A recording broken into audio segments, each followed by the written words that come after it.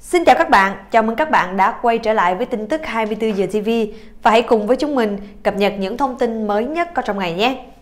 Trưa nay, ngày 25 tháng 3, Ban tổ chức giải âm nhạc cống hiến lần 15 2020 đã chính thức thông báo kết quả bầu chọn của giải thưởng âm nhạc cống hiến 2020. Hoàng Thùy Linh trở thành nghệ sĩ đầu tiên trong lịch sử cống hiến thắng 4 giải MV của năm, bài hát của năm, ca sĩ của năm và album của năm. Sau đây mời các bạn đến với nội dung chi tiết.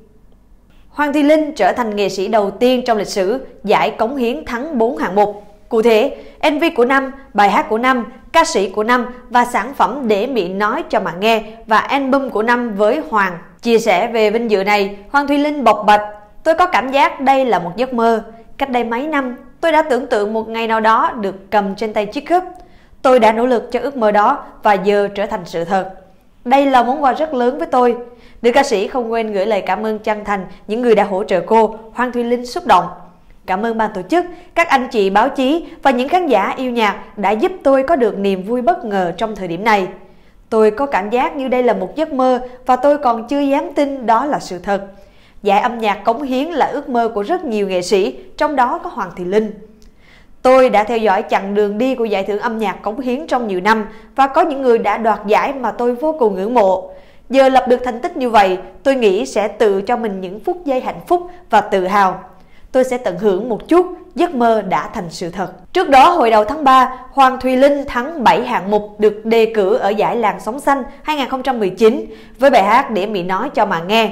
Những thành tựu của nữ ca sĩ khiến nhiều người trầm trồ ngưỡng mộ.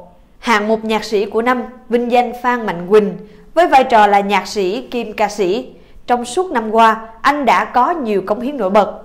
Chia sẻ về giải thưởng, Phan Mạnh Quỳnh cho biết, Tôi chờ đợi giải thưởng này rất lâu rồi và có một chút tiếc nuối khi ngày trao giải lại đúng dịp dịch bệnh. Nếu tôi được đứng trên sân khấu nhận giải để cảm ơn những người đã ủng hộ thì sẽ rất hạnh phúc. Giải nghệ sĩ mới của năm thuộc về Ami. Đây là kết quả không hề bất ngờ. Cô nàng đã gặt hái nhiều thành công với sản phẩm Anh nhà ở đâu thế. Đặc biệt Ami còn là nghệ sĩ trẻ nhất thắng giải trong lịch sử 15 năm của cống hiến và nhận được số phiếu bầu tuyệt đối từ hội đồng chấm giải.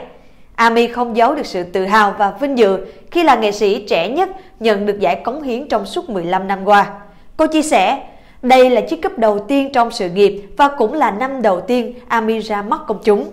Ami nhận ra rằng năm vừa qua mình và ekip đã cố gắng làm việc và cuối cùng đã gặt hái thành quả đầu tiên với giải cống hiến, một giải thưởng rất danh giá.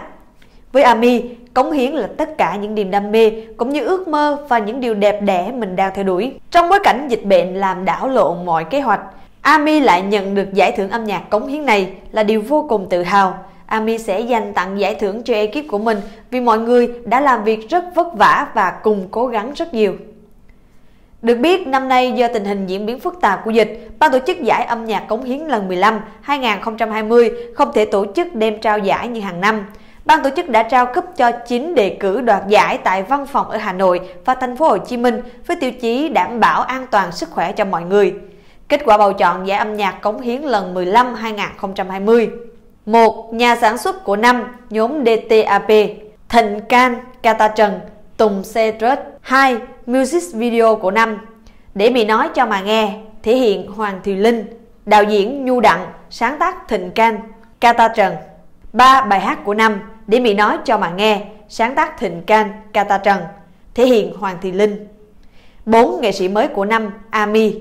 năm Album của năm, Hoàng, thể hiện Hoàng Thùy Linh, sáng tác Thịnh Can, Kata Trần.